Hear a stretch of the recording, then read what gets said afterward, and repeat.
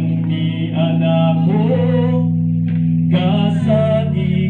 kanimo Busa Ihalap ko kanimo